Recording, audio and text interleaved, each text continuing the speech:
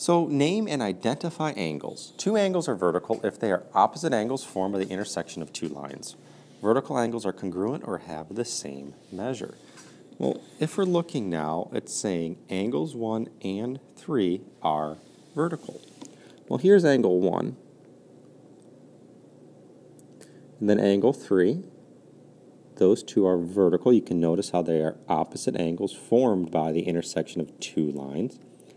And also, 2 in angle 4 are opposite angles that are formed by two intersecting lines and have the same angle measure. Now, the symbol here, we have angle 1 is congruent with equal sign with a little squiggly to angle 3, and angle 2 is congruent to angle 4.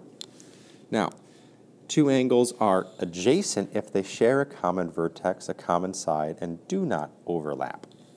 So adjacent angle pairs are 1 and 2. We have 2 and 3. We have 3 and 4. We also have 4 and 1, all adjacent angle pairs. You can name an angle by its vertex and by its points. Name the angle shown at the right.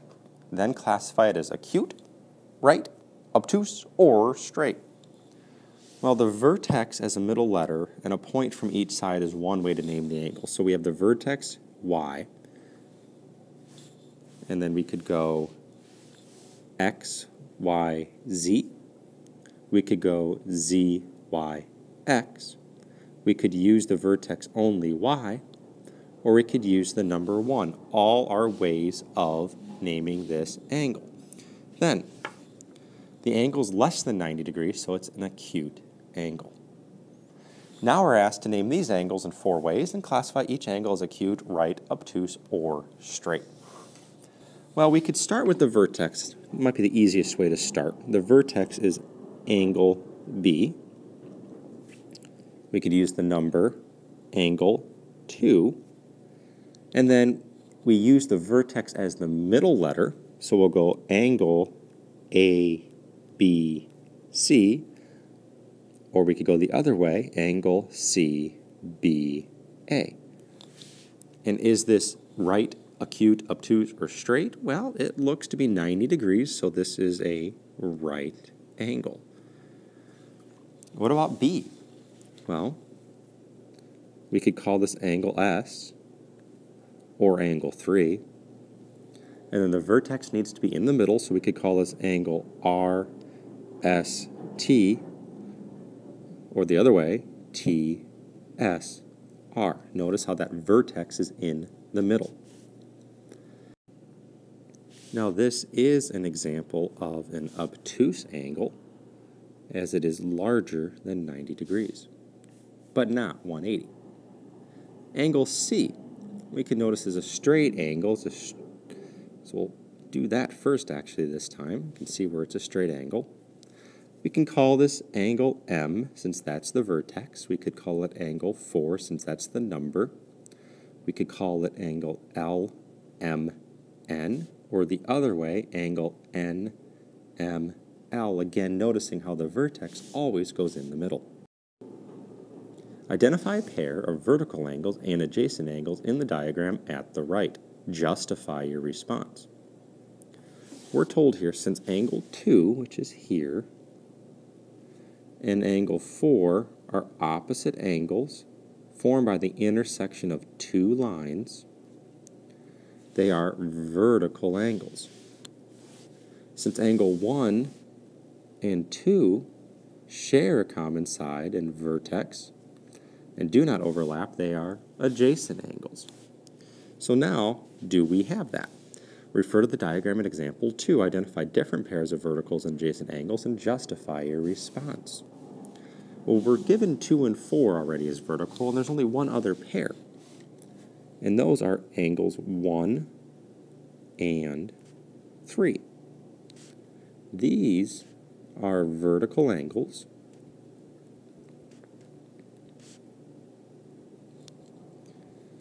because, and we'll use similar wording here, angle 1 and angle 3 are opposite angles formed by the intersection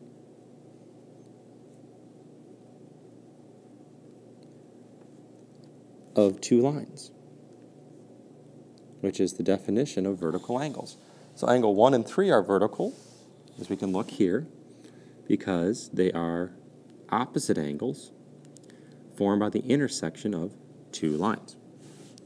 Now, what about adjacent angles? Well, we have a couple to pick from. Let's just pick for this one angles 2 and 3. Angles 2 and 3. You can see they have the vertex and they are next to each other. So, these are adjacent angles because angle 2 and angle 3 share a common vertex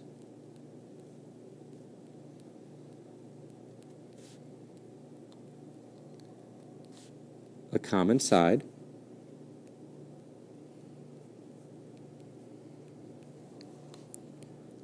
and do not overlap.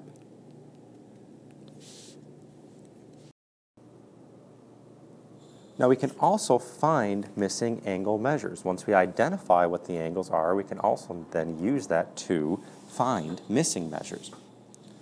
What is the value of x in the figure? Well, here we have 2x plus 2. Here we have 130. We know that this angle here with the 2x plus 2 and this angle here, 130, as they are opposite from each other and share a vertex, we know that those are vertical angles. And since vertical angles are congruent, we can set an equation. 2x plus 2 equals 130. We can solve that equation and get x equals 64. So we can use that to help us find the value of y. As you can see, 3y minus 10 and 50 are vertical angles as they are opposite from each other and share a common vertex. So we can say 3y minus 10 is going to equal 50. To solve the equation, first add 10 to both sides. That cancels. We're left with 3y equals 60. Lastly, we can divide by 3 on both sides of the equation, so that cancels, and we're left with y equals 20. So the value of y is 20. What is the value of x shown in the sidewalk?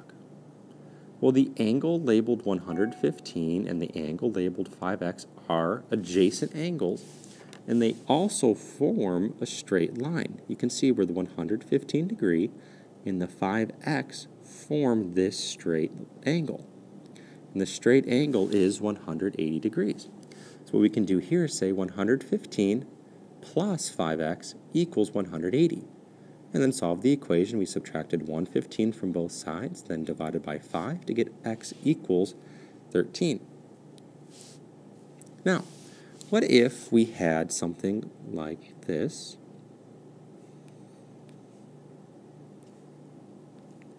Where we had 110 degrees and say 10x degrees.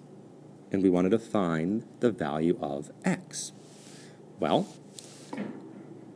again, just like this example above, 110 degrees and 10x degrees are adjacent and they form this straight angle. So we can say 110 plus the 10x degrees is going to equal 180 degrees. And if we subtract 110 from both sides, we're left with 10x equals 70. Then divide by 10 on both sides. That cancels, and we're left with x equals 7. So the value of x there is 7. That is it for this first lesson in our chapter on classify angles.